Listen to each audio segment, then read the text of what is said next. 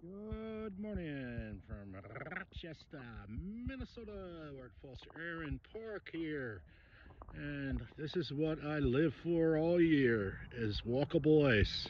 Yes, sir, get out on that ice and have a lovely morning. Do some ice fishing for some rainbow trout. Good day. Okay, people, love to be out back on this ice. Now we're into some more rainbow bigger ones got about a 14, maybe 15 inch here. Go out and get some rainbow action.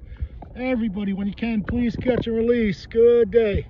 First of the season, rainbow on ice. Yes, sir. Good morning, everybody. Go out and get some rainbow action.